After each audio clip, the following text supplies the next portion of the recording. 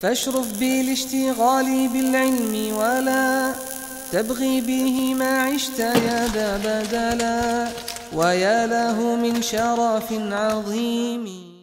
الحمد لله رب العالمين له الحمد الحسن والثناء الجميل وأشهد أن لا إله إلا الله وحده لا شريك له يقول الحق وهو يهدي السبيل وأشهد أن سيدنا ونبينا محمد صلى الله عليه وعلى اله واصحابه والتابعين لهم باحسان إلى يوم الدين اما بعد We were talking about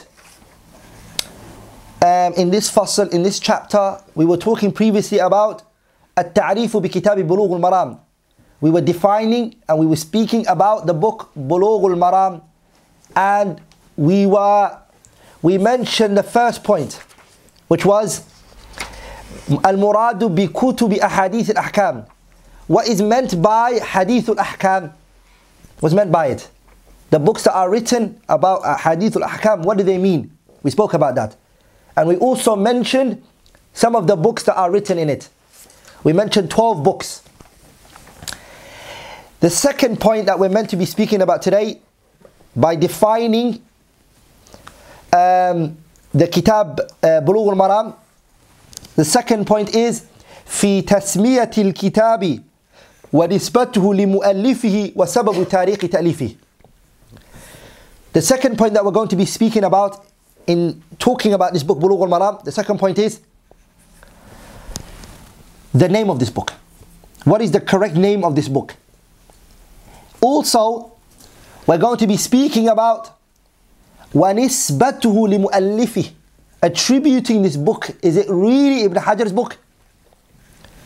And the third point is وَسَبَبُ وَتَارِيخُ تَأْلِيفِهِ The reason and when he wrote it the reason and when he wrote it.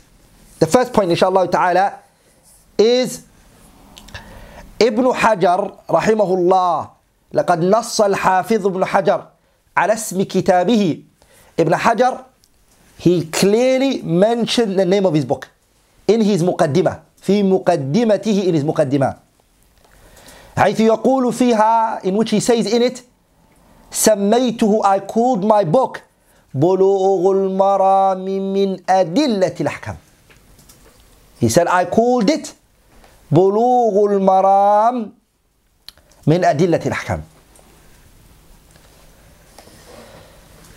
And the majority of the scholars وهكذا ذكره بهذا الاسم أغلب من ترجم له ممن ذكر ممن ذكر مؤلفاته The majority of the scholars who mentioned the biography of Ibn Hajar, they mentioned it the way I said it, which is بلوغ المرام من أدلة الأحكام.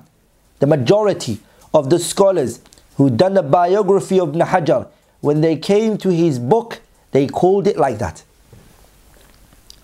But we do find إلا أن بعضهم يتسمح except some of the scholars they are slightly lean في تسميته in his name and so they called it بلوغ المرام من أحاديث الأحكام instead of saying من أدلة الأحكام they called it what أحاديث الأحكام so we just have a difference between أدلة and أحاديث but if you look at it وعلى كل فالخلاف بين الاسمين يسير جدا and if you look at both of them the difference is really nothing big one says أدلة and the other one says أحاديث and أحاديث is a دليل That's the first point. The second point is وأما من جهة نسبة الكتاب إليه. The second point is attributing this book to Ibn Hajar al-Asqalani which is فهو أمر مستفيض. This is an issue which is collectively attributed to Ibn Hajar by noble scholars. Rather, I don't know. I don't know, and I have not come across. وَلَمْ أَقِفْ عَلَى قَوْلٍ ها ينسبه إلى غيره I have not come across the statement of anyone who said that Bulugh al-Maram was written by another person. I haven't seen that. So the scholars, they all تتابعوا, they all followed one another in attributing this book to him.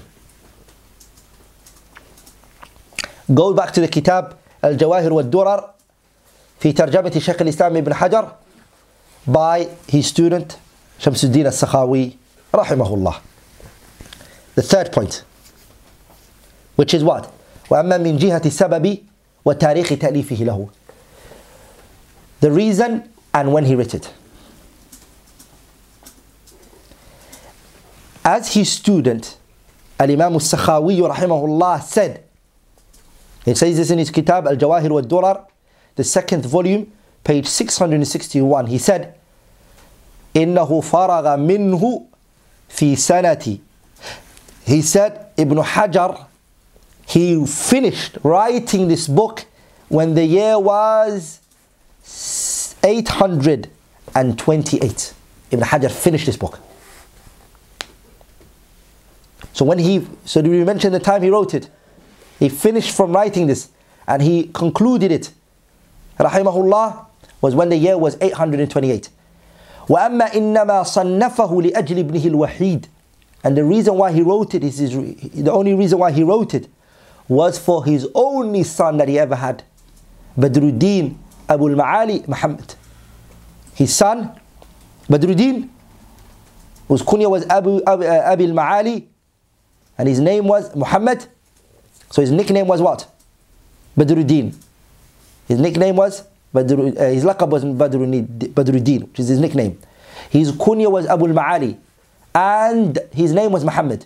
He was born the year 815. He was born 815.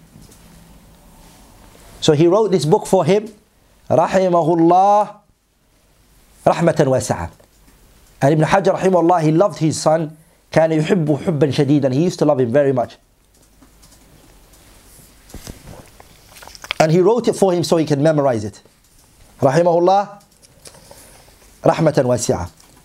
How old was his son at that time? If he was born 80, 815 and Ibn Hajar finished writing this book, 828, how old would he be?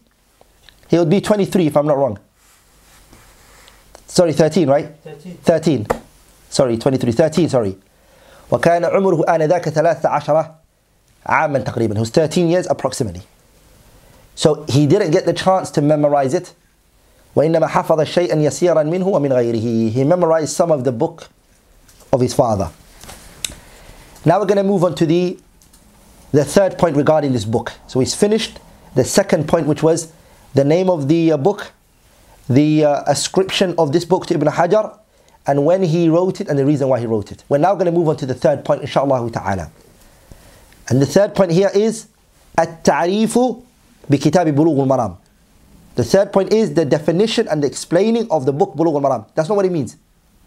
That's not the third point, doesn't mean that. I mean, all of these points, they fall under that heading.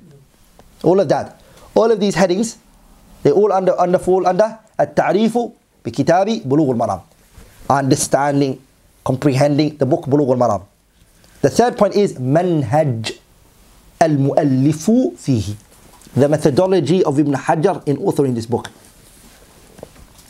The second, third point is, what was Ibn Hajar's methodology in this book? What did, what method did he take?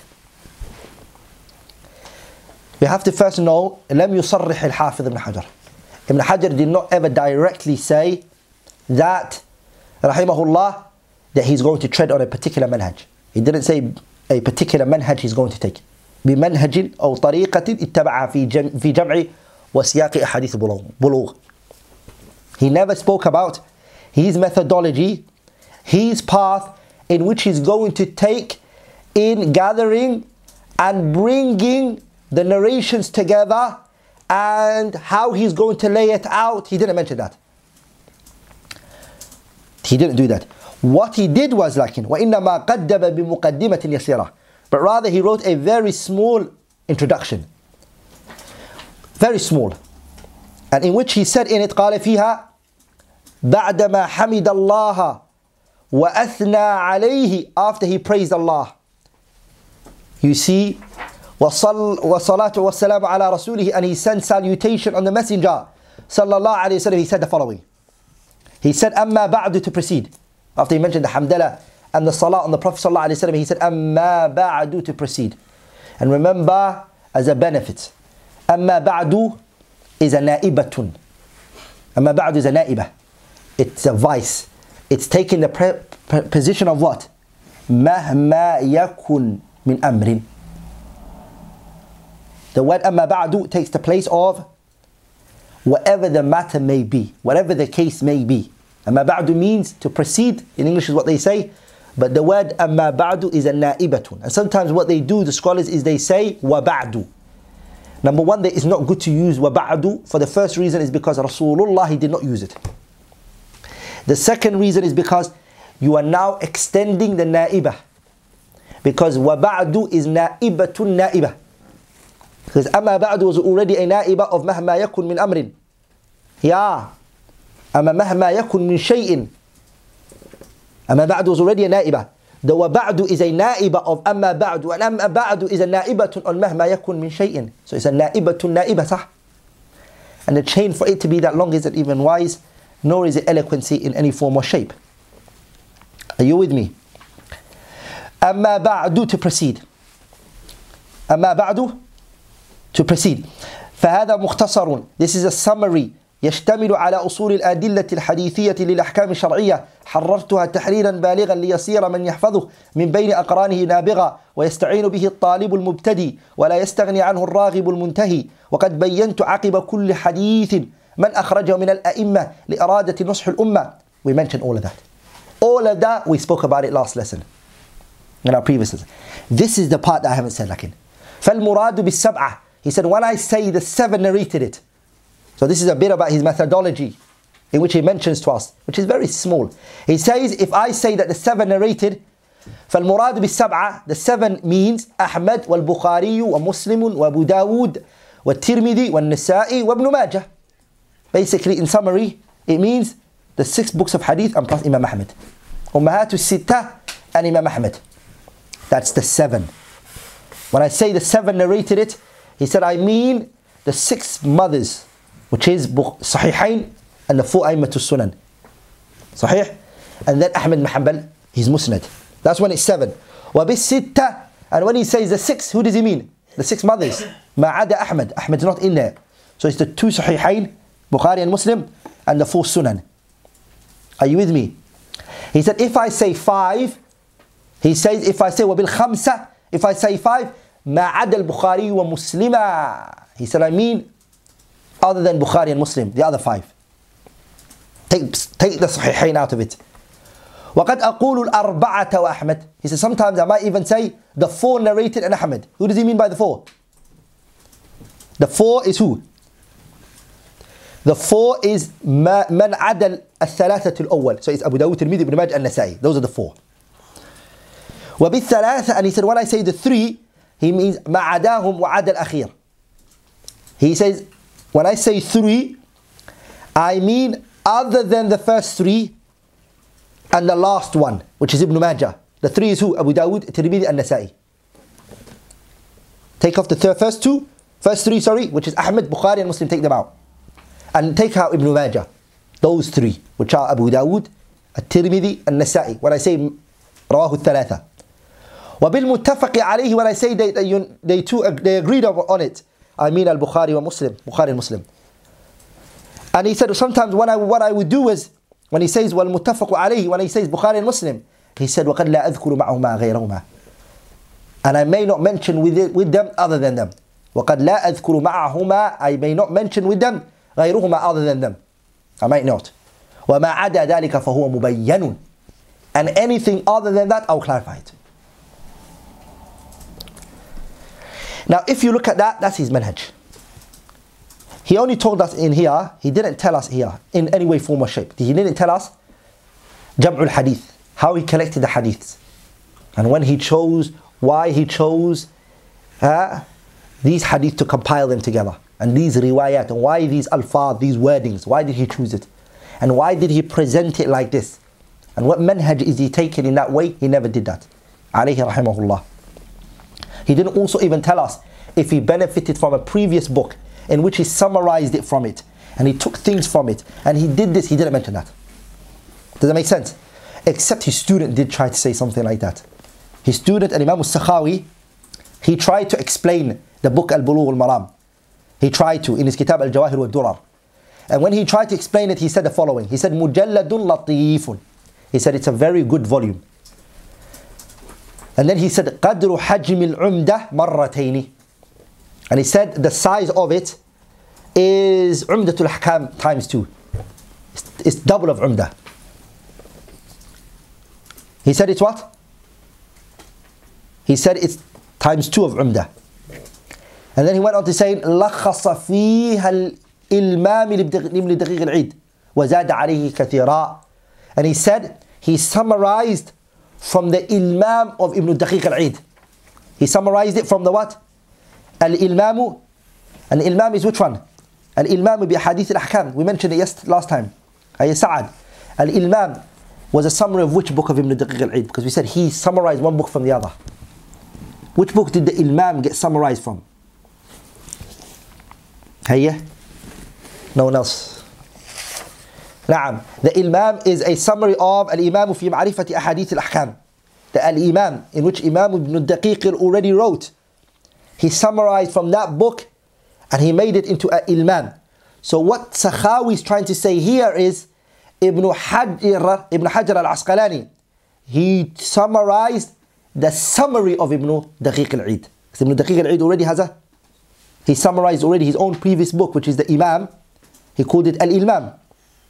so Ibn Hajar summarized his Bulugh al-Maram from the Ilmam of Ibn Daqiq al-Eid.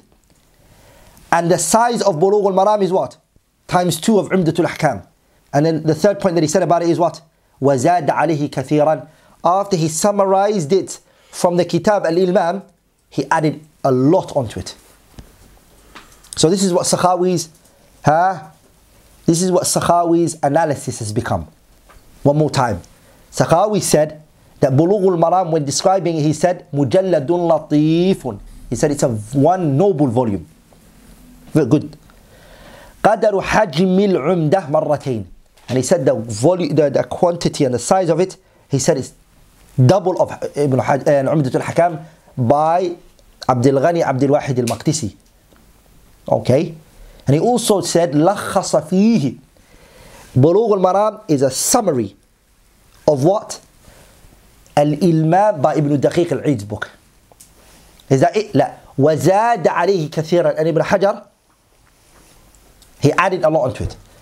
Now, is that statement of Imam al-Sakhawi correct? Is it on point? Is what he said right? We'll say, أن في كلامه نظر. Sakhawi's statement, there's a look to it. Number one, the reason why it's not.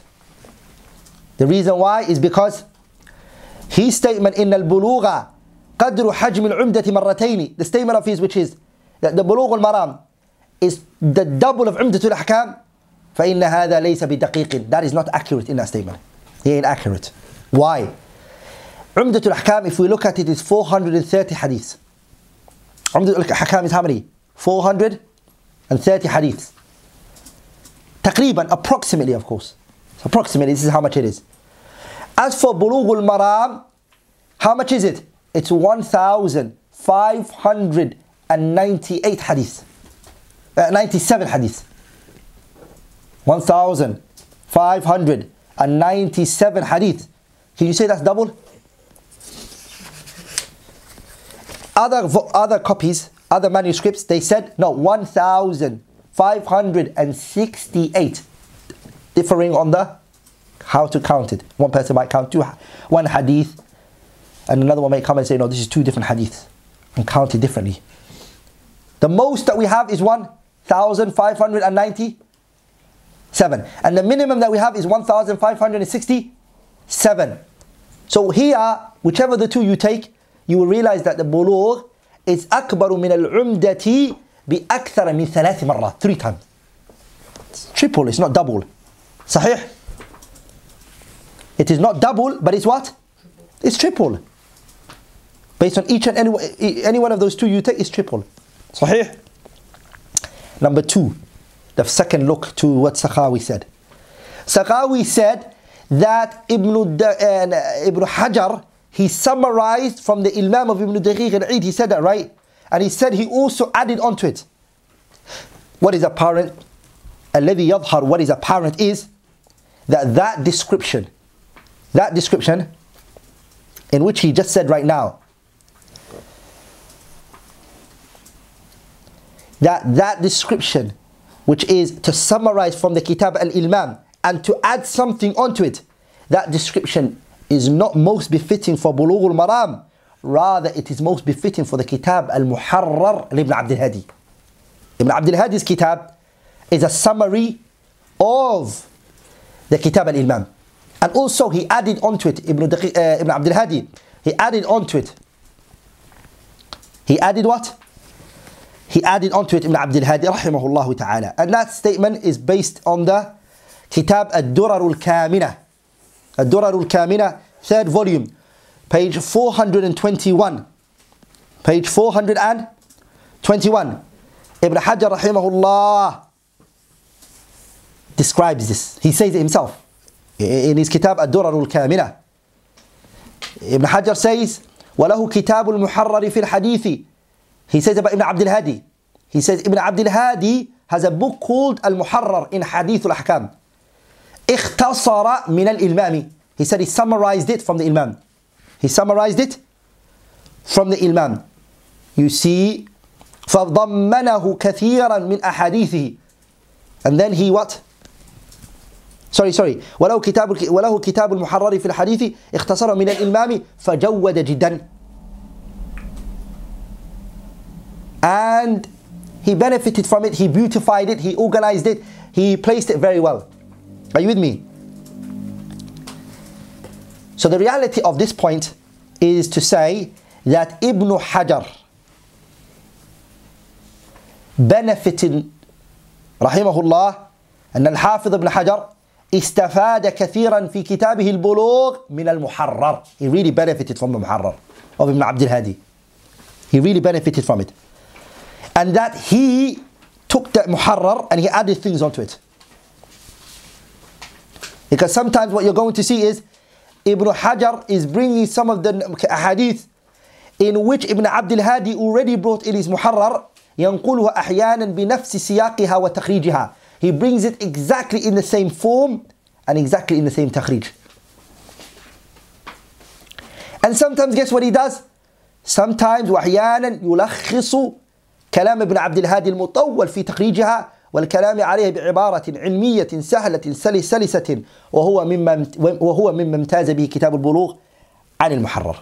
And sometimes what Ibn, Abd, Ibn Hajar does is he summarizes the kalam of Ibn Abdul Hadi that was so long. And anyone who reads Kitab al-Muharrar would realize sometimes Ibn, Ibn Abdul Hadi will go a bit too much into the takhrij of the hadith and speak about the ilal and speak about are you with me? Ibn Hajar, what he does is, he takes that statement of his and his takhrij and he summarizes it. And he uses terminologies and words that are what? بعبارة علمية سهلة سلسة. He would use terminologies, words that are very simple, digestible. You can digest it. And the way he uses it is just so nice in the usage. And that is what gave Bulugh al-Maram an upper hand over al-Muharrar. So if that's something that Imam al-Sakhawi mentioned, are you with me? And we've critiqued it, then what is the correct manhaj of Ibn Hajar, Ibn Hajar al-Asqalani's Kitab Bulugh al-Maram? That requires. Now let's give you guys بالتتبع والاستقراء following at Bulugh al-Maram and checking it. And how Ibn Hajar rahimahullah brings the ahadith in it. His manhaj is the following.